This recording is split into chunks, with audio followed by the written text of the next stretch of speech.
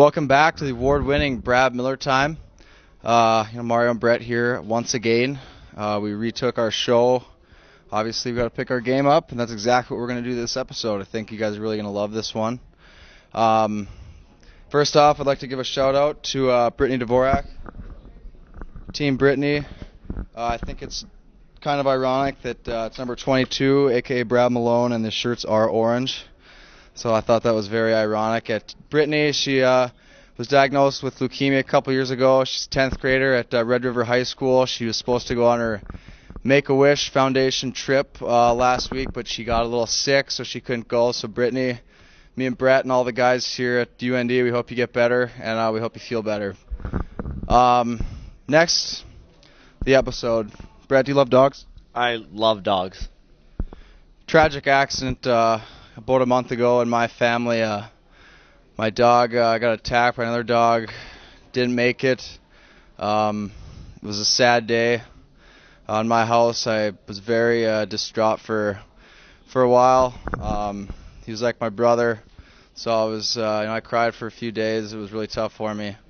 Um, but I just want to uh, show a picture of my dog Reggie. He's uh, sitting in a basket there. Um, Reggie is dear to my heart. He, he's going to be missed forever. Uh, I might get a tattoo of him on me because I loved him so much, and uh, I'll just bring it in.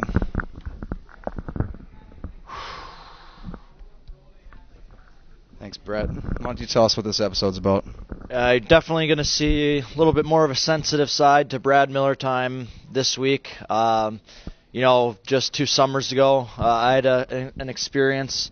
Um, we had a German Shepherd who we gave to my grandma on her farm in Manitoba, and um, probably I don't know, 10 years ago or so, and uh, two summers ago, her hips really went bad, and she couldn't couldn't move around anymore. So me and my mom had to take her and put her to sleep, and I watched the whole thing, and uh, honestly, probably one of the toughest things I ever had to do. And you know, my mom was a warrior, and she was the rock. She was solid the whole time, you know. Um, but me, on the other hand, I was bawling like a baby for probably 45 minutes. The entire 20 20 minute car ride home, I had to look out the window because I didn't want my mom to see me crying. And then, uh, and then even after when we buried her, it was uh, really tough and and really emotional. And um, so today we're going to talk with some other guys about you know their dogs and how much they love them. And man's best friend. Um, what a great subject to talk about. Um, the sensitive side of Brad Miller time. You know, we're we're uh, you know athletes and and we like to think we're tough and stuff like that all the time. But um, today we're gonna gonna get a little soft. We're joined with our first guest, Tate Maris. Tate, great to have you on the show. Good to be here. We're uh, we're talk- talking about dogs um, as you were filming the intro. Um, and so, why don't you start by telling us uh, the name of your dog, what type of dog it is? Um, I have a dog named Peyton. He's brown and black and white. I don't know exactly what he is. I think part German Shepherd, but um, yeah, he's a mutt. Um, he's a good. He's not. He's a, he's a dog though. If you don't mind, you have a beautiful voice, so I'm gonna enjoy this. Howl for us like your dog.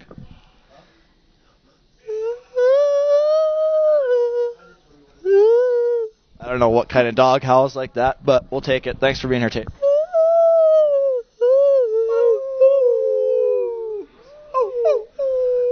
Okay, what's a special bond that you and your dog have that's uh, kind of funny?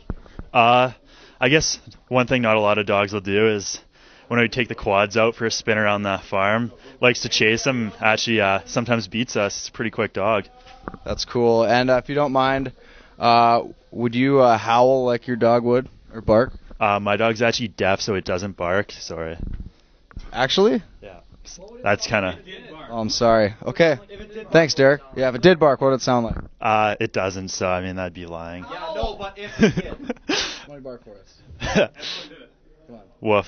Like, uh, why don't you tell us uh, maybe about a dog in your life, uh, what its name was, and uh, what kind of dog was it? Well, I had a golden retriever. His name was Everest.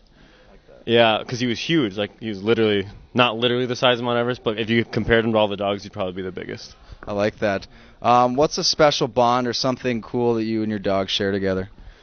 Oh, it was awesome. I remember when I was uh, growing up when I used to hang out with him every day. I always I'd always come home from school and I'd get a popsicle or like an ice cream or something, and we'd always share it. And people would always think that was really gross, but me and my dog, we had that kind of bond that it was it was awesome. You guys just went lick for lick. Lick for lick. God, there's nothing more special than that. I could appreciate that.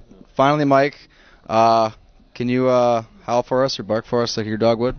Well, the funny thing was my dog was really old, so at the end of its time, it lost its bark. So his bark would sound like because he couldn't actually bark anymore. You know. It's kind of like an old an old person. I like that. Thanks, Mike. You're welcome. Join with our next guest, Jose Star Mangelson. Uh, Jose, why don't you start by telling us uh, the name of your dog and what kind of dog it is? I have a Basset Hound, and his name is Herbie.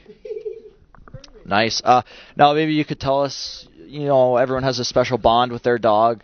Maybe you could tell us about the special bond that you share, or a funny story, or something from uh, uh, with your dog. Uh, I have a lot of I have a lot of funny stories with Herbie. Uh, got a couple. Uh, he hates the mailman, so anytime the mailman comes, he almost tears the door down. Hey, cuz you th- think I look better with my head shaved, does that mean you thought I was ugly before? No, I just like you better now. Okay. See ya. Um, do I keep going? Yeah.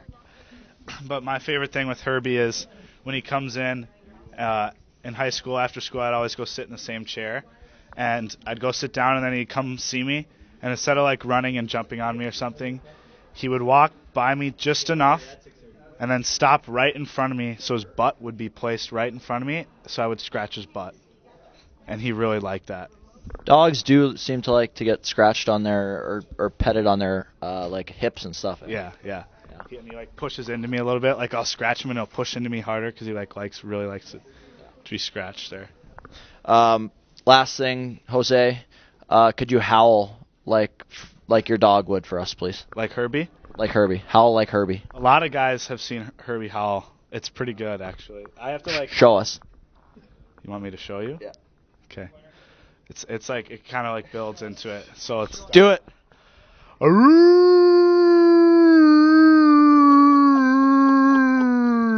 something like that. Ryan, why don't you start off by telling us about uh, a dog you've had in your life and what its name was? Um, well, I've only had one dog my whole life.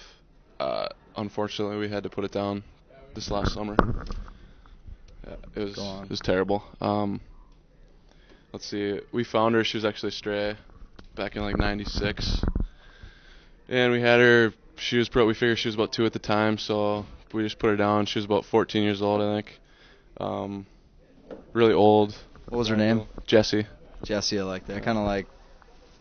I don't know any famous Jesse. Je- Uncle Jesse from Full House. Sure, sure, that works. What's a special bond that you and your dog had? Um, I don't know. I guess my dog really, really didn't like me all that much. It growled at me a lot and stuff. But, um, it seemed whenever my mom was like gone, she'd be nice to me. But whenever my mom was around, she was protective of my mom. So Well, you gotta appreciate that, don't you? it's respectable. Yeah. Absolutely, taking care of the house, taking care of mom. I like that. And uh, Ryan, if you don't mind, could you uh, maybe bark or howl for us like your like Jesse would? Uh, well, she didn't howl. Like, she she was a barker, I guess. Okay, what was her bark like? I'm not barking. Come on, bark for us. I'm not barking. Everyone's doing it. Everyone's doing it. Everybody. I like that. Here we are with next guest, Mario Lamoureux. Mario, uh, why don't you tell us about uh, your dog and what its name was? Well, my dog was a uh, mix between a Basset Hound and a Beagle, and his name was Reggie. Mar, why don't you tell us about something funny uh, about your dog that was, you know, special to you?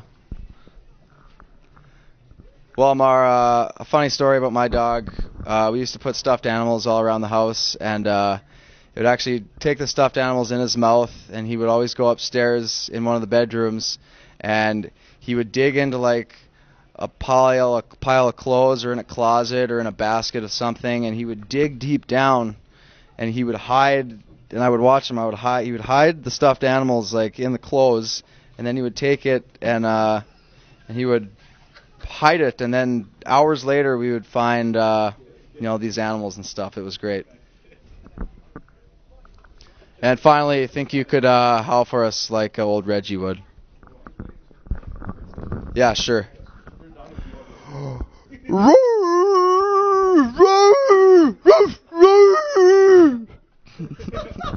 Evan, tell us about uh, what kind of dog you have and what its name is. Uh, well, we got two dogs at uh, the Trupp residence. Uh, one is Rico. Uh, plenty of the boys have seen it uh, when they come over. It's just a little stuffed animal, pretty much. But uh, probably the one that we have to take uh, more uh, care of is uh, Dan Crystal. Okay, what's a special bond or what's something funny or something that annoys you about uh, your dog Dan? I don't know. We got to keep him in line. You know, he's pretty good at fetch, but he doesn't always obey. Uh, sometimes we give him little treats here and there, but not too much, because uh, you know sometimes can't get to bed at night. That's true. And uh, finally, Evan, why don't you uh, why don't you bark or howl for us like Dan would, Dan Kristo? but, but. Thanks, Evan. Finally, uh, I'd like to end um, the episode today. Uh, it's kind of an emotional episode for me because uh, it was really sad when we lost uh, my dog. It was uh, so kind of spent a lot of class time lately. Uh, I wrote a poem for him. Uh, so this is titled Reggie, my bro. You first came home with those big floppy ears. You were a strong little man and never shed no tears. You would prance around the backyard like you were the master, and sometimes you'd get eat trays of brownies. What a disaster. You would bark at the people walking by to protect the house, but deep down inside you wouldn't even harm a mouse. In dog heaven, there's probably someone telling you no, but I have no doubt you're running everybody's show. You would protect your sister Lucy because you were so manly, and it didn't take long for you to be part of the family. I'll always miss that loud, distinct howl, and I'm still amazed now I never once heard you growl. I cried for so long when I had to let you go, but Reg, you'll always be my bro. Reggie, I love you. Uh, I hope you're having a good time in dog heaven, doing uh, eating anything you want, all the treats. Uh, we're taking care of your sister Lucy down here, and uh, we miss you a lot. Uh, love you, Reg. And uh, finally, Team Brittany shirts. Uh, she's fighting leukemia right now, so leukemia awareness. I uh, just want to give her a shout out. Thank you.